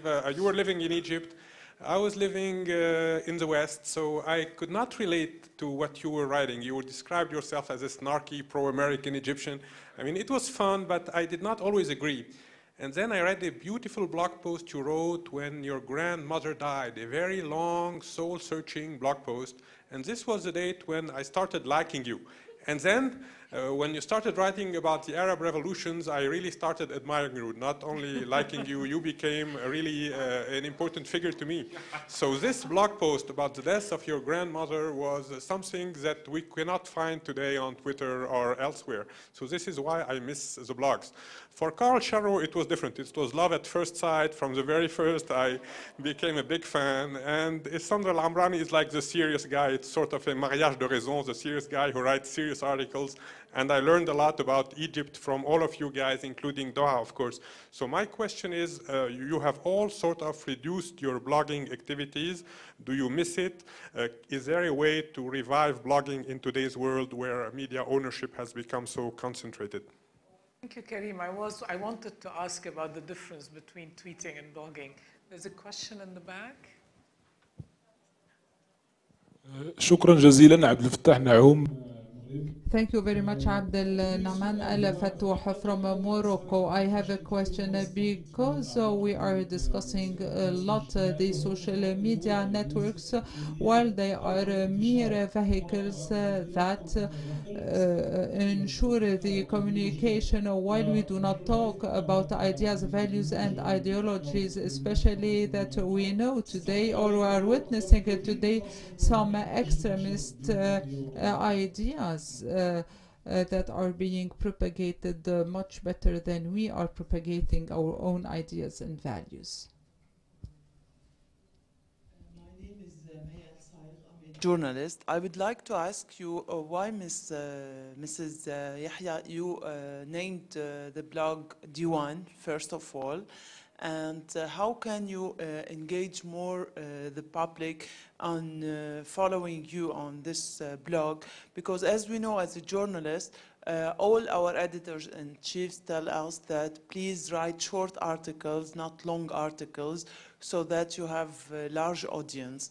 And um, uh, also, I would like to ask about um, uh, the Twitter and um, social media. It's of course it helps us, but also it creates challenges for us. And people now um, uh, use uh, these uh, tools, um, uh, especially the Mr. said about uh, the challenges we face that uh, most printed media now are suffering because social media. Personally, I make use of this tool and it helped me in my work because I focus on international issues. But in your um, Diwan uh, work, what are you going to do? Will you add uh, a place for um, using humor about uh, serious things and engaging more followers on Twitter and social media? Thank you.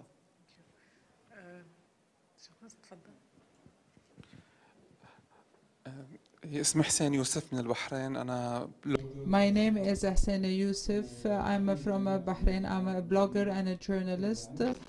I have uh, an explanation uh, or a clarification uh, to ask for. Uh, we've been working uh, with a lot of bloggers and uh, journalists from different countries, and we faced challenge in 2005 and before 2005 uh, because uh, we moved from uh, traditional uh, journalism uh, to the journalism of uh, the citizens. And in that citizen journalism there is a mixture of news and opinion. This created a kind of a contest a kind of a challenge for us uh,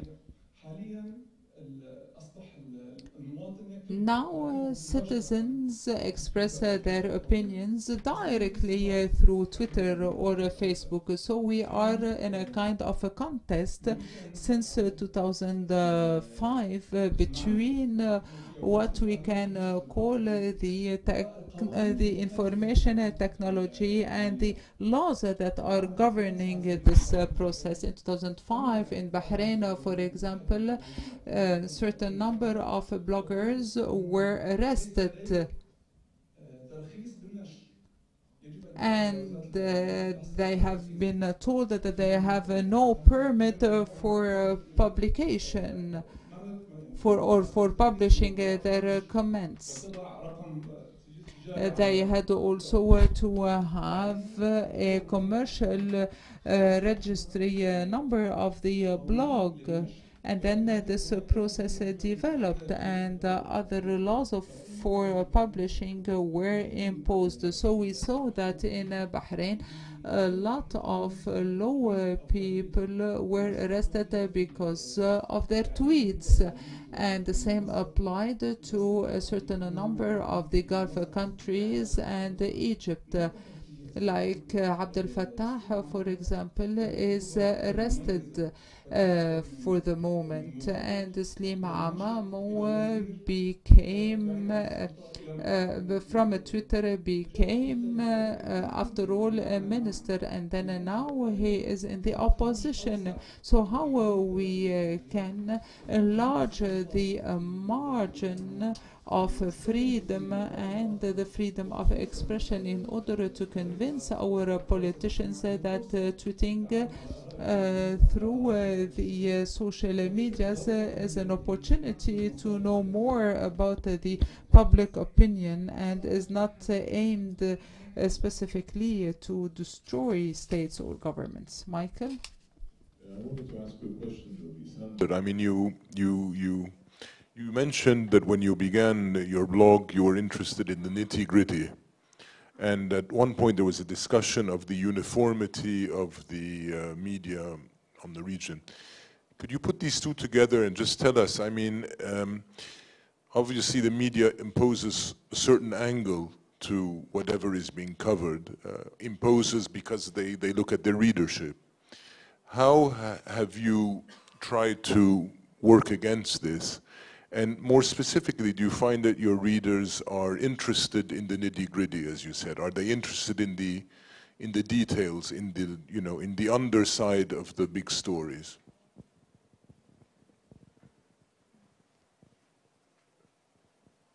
Thank you. I think we'll move now to the, and then we can open it up for another round if there are more questions. محمود هالمرة حبلش معك. طيب آه regarding سؤال التمويل يا ريت يا راجل انت Regarding uh, the uh, funding uh, issue, of course, it's not happening. blog than it is to run an actual newspaper. I mean, the amount of costs associated and needed for something like that is, you know, very, it's very, not even comparable. Like, you can't even, like, com- complete that. So, one person can run a blog, exactly. For, that's, that's, that's an answer right there. There is no, I wish there was Tamwil. There is no Tamwil. Um, secondly uh, سؤال حضرتك regarding الحكومات وكده الحاجة الوحيدة اللي ممكن أقول لك هي توظف السلطات Regarding uh, the uh, c- your question regarding the governments, I would uh, say uh, uh, I don't uh, give a damn about uh, govern uh, governments and states and the laws that they are uh, imposing. Uh, I have to deal with the situation as it is. It's uh, very clear uh, that uh, we will uh, continue working uh, like this in our region uh, that uh, decided uh, to uh, live at the margin of uh, history. Uh, mechanisms of disseminating information and content. Some of them are being used as content vehicles in their own, but it's not necessarily means you replace it. Actually, Twitter and Facebook both give priority to actually link, links that you put in your tweets and your posts. You know, so uh, the issue then becomes whether we as bloggers have become lazy or we have become complacent, or if microblogging has somehow overtaken the concept of the traditional blog because it's a lot faster and it's a lot easier. And I don't have to think about something uh, as smart to write in 800 and 600 words and with a smart title when I can just tweet it in 140 characters and call it a day. But I don't think that they have replaced anything. I think the audience for all of those things still exists, you know, and I think that uh, we have nothing to fear regarding blogs disappearing anytime soon. I think also, even, you know, the energy needed to put 140 characters is still, I mean, there's a lot, it's most tweets, there's a lot of thought that goes into them. You have to really care. Like you have to like really like be present and have an opinion about everything and show that you're like there and following everything and you know it's it's it's it repeats itself after a while. So it's I don't know. I get bored. Sander? Uh, so yeah, just to address a couple of questions first. Uh, uh, uh, your question, Michael, uh, about you know, first, are, re- are readers interested in the nitty gritty? My readers are. It's a very small subset of the potential reader. My, the aim of my blog was, not, was never to have the largest uh, leadership. I've never done it as a commercial uh, uh, uh, uh, venture. But I know who some of my readers are, either because they contact me or because I see their email addresses when they subscribe to the the mailing list you can subscribe to. Uh, a lot of them are academics, government officials. Uh, they're basically Middle East professionals. They're people who, who, who, who, who, whose work involves a lot of the time knowing about what's going on in the region. And these people are interested in the nitty gritties. I think it's not a coincidence that I became kind of research, a researcher, an analyst, uh, and so on, because that, you know, I think it's normal that newspapers are not interested in, in the kind of level of detail that uh, uh, a think tank is going to provide and so on. And that's the choice I made uh, uh, uh, for myself. Uh, uh, and I think also people, even the lay reader, people who, who do not know a lot about things, are interested in, in digging when there's a story or a certain thing that, that's of interest uh, uh, to them. I think they're interested in knowing to know what's the mechanism behind this, how, how does this work, and so on. I mean, you know, in my case in Egypt, well, I, I was certainly frustrated with this idea of, uh, you know, Egypt, a pillar of stability in the region and under this. Uh, uh, under this, uh, you know, boring, author- sure authoritarian president, but at least he was keeping the country stable. Egypt wasn't really stable, and you know, eventually things blew up. The the the um, you know, I remember reading you around the same time. Uh, uh, uh, you know, as someone who ex- who explained what was happening in Lebanon, especially after the crisis of uh, following uh, the, the assassination of uh, Rafik Hariri. Uh, uh, and you know, I think I think that would probably not be interested to your lay American reader or English reader or French reader, but it was certainly interested to people like me who do not necessarily know tremendous amounts about Lebanon, but are informed enough, we know the basic things, and you know, you, you and others provided a lot more detail, and you could read that from all kinds of perspective, whether, you know, you know, you were certainly no, no fan of Syria at the time, if I remember correctly, but uh, uh, uh, it, it, it's, uh, and, I- and, and I think I think, I think that is valuable. The question is, how long are you going to do that? And I think it, this, this leads to the uh, other question. And, and I should act, I, I should say also that journalism, at least American journalism, I think has improved. I think, and I think it is partly because of, of the, the pressure from the blog. I think I see you see a lot more people who are proficient in the languages or have spent a lot of time in the region. I think it's a lot more nuanced, and even though the situation has gotten a lot more complicated.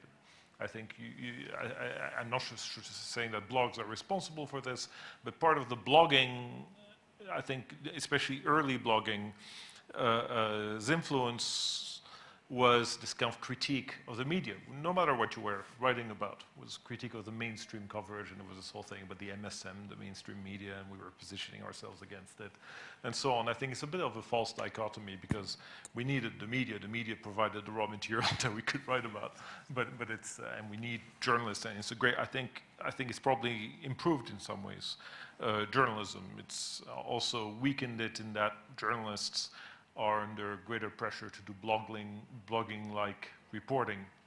And good, like any good researcher, any good journalist knows, really good in-depth journalism just takes a lot of time. It takes a lot of uh, uh, resources, and that's something if you're running a non-profit, you know, kind of hobby publication like a like a blog, you don't really, you can't afford to do uh, uh, forever. And, and I, this maybe to touch on to the, the, the, whole question of the future of blogging, is blogging dead, has it been replaced by Facebook and Twitter and so on? I think certainly blogging is not what it used to be. I, I, you know, that, that early sense of kind of pioneering community that you had in the early 2000s is gone. Uh, that being said, I think, hmm? Uh, uh, yeah. Yeah. but, but, but it doesn't mean that you can't, I think, continue to do it. Uh, uh, I mean, certainly what you're doing with, with, with Diwan is, I, th I, think, is a good example of that kind of uh, niche uh, expert and blog, you know, targeted at those kind of people who, are, who have a professional interest in the Middle East. Um, it, it, I, I think also I would encourage any young academic, any, any young journalist and so on to, uh, to do it. I think it's very enriching. Yes, it takes work, it takes time and so on, but I, I've certainly gotten a lot more out of it than I've ever put in. And, uh, uh, uh, and I think it's, it's uh, uh, this question of doing a public service also, I think, is, is worthwhile. So the sense of reaching, um, reaching a much wider audience with ideas that are quite important. Sorry. Karl, Yeah, I, I think first I want to address the question at the back about why we um, put so much attention on social media when it's just a, a tool, not on the actual content. But I think uh, um, it's more than just a tool. I think there's been a fundamental qualitative and quantitative change that was brought about by social media for various reasons. One is anyone can now blog, and as we have seen from many people who are completely amateurs, they've been able to reach uh, millions as an audience. And it's also given a, a medium for kind of formalizing uh, or not kind of allowing uh, um, millions of Arabs, as we've said before, to kind of express themselves against the censorship that we had before. Now, the problem is of social media is we have this amazing technological advancement at the worst possible moment historically and culturally. Particularly if you look at the Arab world, but broadly in the world, where there is a complete collapse of all the traditional political frameworks. So when you want to talk about opposition to the Islamist model today, be it moderate or jihadi, what are the alternative ideas out there? It's, this is not the moment where you have all the strong communist Arab parties or the strong liberal Arab parties, or you don't have any of these today. Everything has collapsed. We don't have any kind of opposition oppositional strong. There's no, there are no alternative frameworks. The best that sort of so-called seculars can do is to say we're not Islamists. That's, that's, that's the one, yeah. Or, or, you know, or, or the kind of lifestyle uh, choices. So it happens at a very awkward uh, moment. And I think this is the problem that at this moment we start to fetishize the medium and think the medium is the message rather than what we really need in the Middle East and the Arab world, which is a, a, a revival of healthy political frameworks that can actually form an alternative to this uh, Islamist hegemony on ideas. And in fact, it's very true. The observation is amazing. You know, all this celebration in 2011 of the power of social media, and actually who ends up using it most is the, the jihadis who are most successful in, in using it. It actually should be a wake-up call that we shouldn't fetishize the medium. But also, we have a historic challenge we shouldn't undermine that we need to rise to that kind of, but across, across you know, political opinions. And, and I, sometimes I find it laughable when like Arab communists and Arab liberals just sort of start attacking uh, each other. And it's of like fighting the battles of uh, the, the past. And it's almost like a, a, a form of theater when there's a complete lack of ability to win elections or reach any kind of mass base. Uh, and it's a fundamental transformation. We're talking about a country like Iraq in 1948 could count on 1 million communist supporters and, and you know and you had liberal parties in Egypt and other countries so I think that's much more of a, an, an, a kind of uh, pressing need than just worrying about the medium through which we communicate that will ultimately provide all these freedoms and all of that. So that links up to the second question. I mean, you can't ask those governments to give you that freedom because they are the problem. And what we need is the political change. But before we can get there, we need these alternative ideological and political frameworks. I think the idea also is that you're using these tools to push for and to demand this freedom, to push for, I mean, to push the envelope further and further. And it is a tool that can be used. It's not being used, but it can be used. I mean, you're using it, Sundar uses it, everybody uses it, not everybody, but I mean, all of you here on this panel. No, I started by to saying, push yeah. different ideas uh, into the public realm, ideas that are not being discussed. Yeah. Uh, and perhaps to frame discussions in a way that uh, is different from the way they're being framed. And I'll use Syria, for example. The Syria conflict uh, has been progressively framed as a sectarian conflict.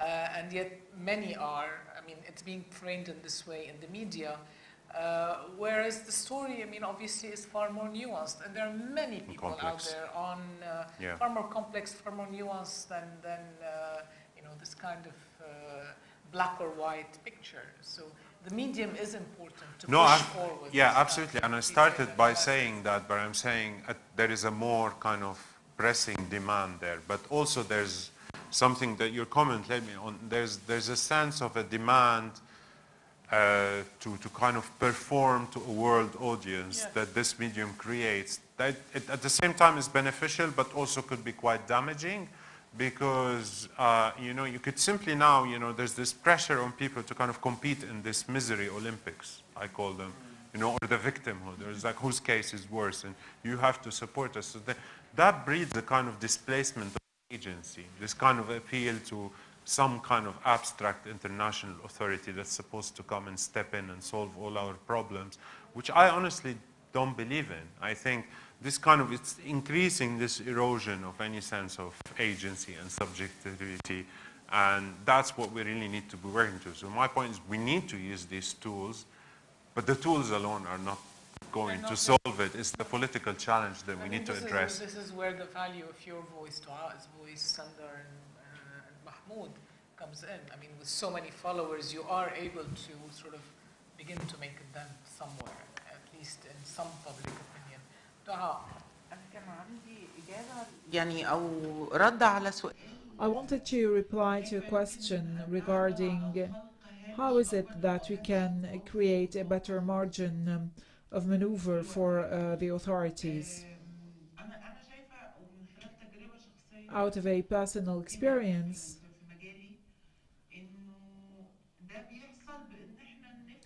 I believe that this will open, or that this requires us to open more doors.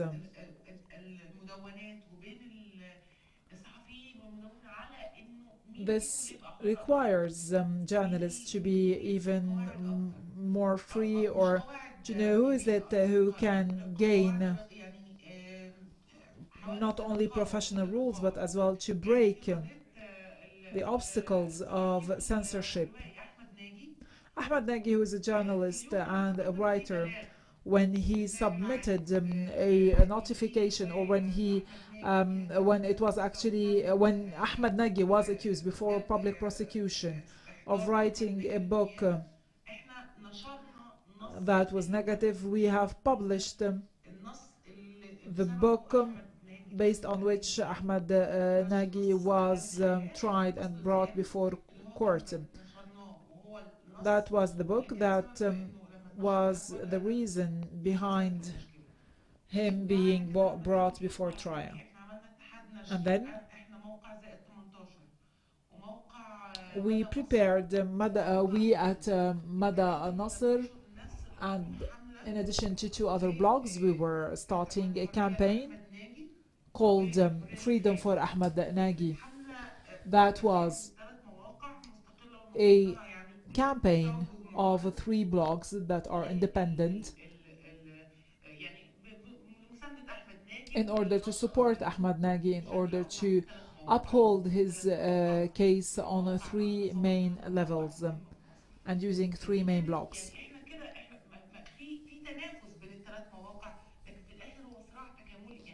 All three uh, sites were actually competing, however, what we wanted to do was actually to complement information. We, our competition to uh, determine who is the best of us um, was actually set aside in order to fight for freedom because um, um, Ahmed was to be uh, upheld and supported. This is why we were facing the situation with more freedom, benefiting from the lack of laws, real and efficient laws, um, and basically using the laws uh, or having some use the law um, and bending them according to um, their um, their whim. Or to say that, for example, we would like to close this um, blog because it stands against me. Or to say that you have appliances um, whose software do not are not actually supported. So they are using uh, their laws um, in any way. And this, of course, would enable you to open your position and to ensure that you um, discuss it. So I have used them and I have benefited the fact that we have no laws um, on the internet in order to publish the same. So we benefit uh, from the lack of laws in as much as they benefit from the presence of a law. So this requires more freedom. The Amr Hamzawi articles that were actually prohibited in uh, Shuruq and Al-Quds were being published by our blogs. So they would say, you have published some information that were not required to be published in Al-Shuruq. So there are no information, there are no instructions. They are not going to tell you how is it that you are publishing this or that. So they will they will catch you anyway. Thank you, Doaa. just um, why Diwan? The broader audience. ديوان لانه يعني فكره awesome. diwan it's because the idea of a diwan of having people sitting around the diwan الفكره الديوان العربي اللي بتخلق حيز من النقاش the Arab uh, Diwan will actually bring in a forum of discussion between people and at the same time we have the practical aspect uh, because we wanted a name that would work in both English and Arabic and to make it easier. Both Arabic and English, obviously. Uh, we're hoping we'll be able to reach and expand this audience through the kind of, uh, as Michael was describing, the analytical uh, insights that we can bring into uh, trying to understand what is going on in the region beyond the kind of black or white uh, analysis that you see in a lot of mainstream media. Uh, مش يعني we're not going to play the role that uh, plus 18 أو مدى مصر which is more of an investigative journalism بس يمكن our work is more on the analytical front and uh, بيكمل uh, شوي it's a ki- kind of complementary complementary if you want uh, in the sense of bringing more nuance to what is going on uh, in the region and in different countries of the region as our scholars see them. Uh, on this note, I think we will uh, finish this panel. Okay, quickly.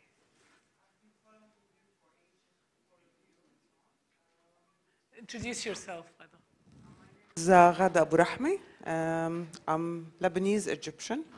And one of the key activists. No, no, no. Just an 25. active participant. Um, I've been following you for ages. And um, I've always thought that everything, all the contents in the blogs and so on, are as alternative opinions, information, and analysis.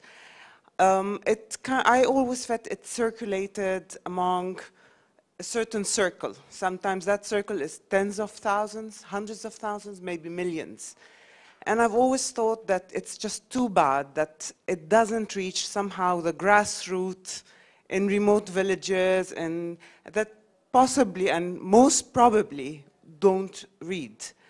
Is there a way to kind of like do something like uh, vlogs or uh, podcasts and somehow uh, because all these people do have your smartphone, maybe not computers, but they do have smartphone, and I see them um, exchanging videos and so on. It would be really interesting to see if there's a way to kind of like reach out to those people and have them um, access this alternative because they watch TV, and we all know in Egypt specifically what TV means. Um, I don't know if you have any thoughts on that. Well, we're, at least from Diwan's end, we're planning to, uh, down the road, not now, to work with podcasts. Uh, So we will be having podcasts on our website as well, but this is a longer term plan. Huh? Uh, Yeah, we'll. In Arabic, لا لا, in Arabic. It'll be both in Arabic and English. يعني إحنا, the idea of Diwan is not to reach an English audience only. it's really to be able to be blogging to a broader Arab audience. Uh, there's a huge audience out there that I think is uh, uncaptured in a sense. But um, I wanted to see, yeah, Yeah, if I, that. if I may add something, Carly I, I say think, I think you have to remember uh, where the state of the technology. And the state of the technology is that the technology is actually there, for instance, to have internet radio quite easily. It's not that difficult. But it's not so difficult to receive, even if people have smartphones, just because the user friendliness, the access, things are not set up for it. Uh, uh, uh, you know, the way, like for instance, uh, so I think one of the things about Twitter or Facebook is, is their elegance and the ease of joining and so on. It all becomes quite uh, uh, intuitive. Uh, that doesn't exist for uh, non-written content yet. Podcasts, I think I've made a, I'm a huge fan of podcasts, and podcasts have made a tremendous progress, but I think people are not used, uh, pardon me? You have live Facebook now. You have like Facebook and things like that, but you have to remember uh, there's questions of access, of uh, internet reliability and speed. And I think, that, and then there's questions of interfaces and the ease of, uh, even when the, everything technologically is there, the ease of actually making it happen. The skill. Yeah, and I think that's changing because I mean I go to, to you know to villages in Egypt and I see uh, kids at internet cafes huddled up. I mean, so it's, so, so, so, so it's changing as our societies are changing because people are more tech literate and also people are just more literate. We're dinosaurs. You know, we are dinosaurs. Like, you know, we are writers. You know, we're not nec- yeah, we're not necessarily, you know, gonna be on Periscope, like throwing out Periscope videos. Like, I think Karl Marx today, I think I'm the first person ever Snapchatted with you. Uh, quite possible, yeah, you know, uh, did a face swap as well. So like, uh, no, um, one thing, it does require a skill. Uh, not everyone can go up and like face a camera, not everyone even even esteemed like TV hosts, whatever. Sometimes they even need teleprompters to read from. You know, so being off the cuff and this takes a specific kind of personality, you know, that we might not have. Uh, secondly, I don't think any of us takes themselves so seriously that we wish to our message to reach everyone and every medium. I mean, you know, certainly I don't think what I write is that valuable You know, so uh, yeah, no, uh, video like we've dabbled video, we dabbled with podcast for a bit, you know, but currently I mean like فاينز بقى وكده وبيرسكوبس وحاجات كده لا الموضوع هيبقى صعب شوية I think يعني I don't think that's gonna happen anytime soon. There's a lot of stuff. But Carl, you wanted to say something. I think I want to uh, disagree with the premise of the question, and I think what we really need now is very good writing in Arabic that's granular, local, and of quality. And um, forget about trying to attract the audience. I think there's an element of that could be quite infantilizing. I think respect your audience, and they will find you. And so, so basically, we need exactly what I'm not doing. We need, you know, the kind of stuff that they do and uh, Doaa, and we need much more of that. We need the quality Arabic writing that's local and granular. This is what we really need. Not all the other kind of, everything else is distraction. لا انا كده I want to thank you very much for your patience and for staying with us but most of all I also want to thank our wonderful panelists Mahmoud, Sandar, Karl and Doaa, Miss Khidam. Uh, شكرا لكم uh, for sharing actually this uh, moment of this launch with us. Thank you.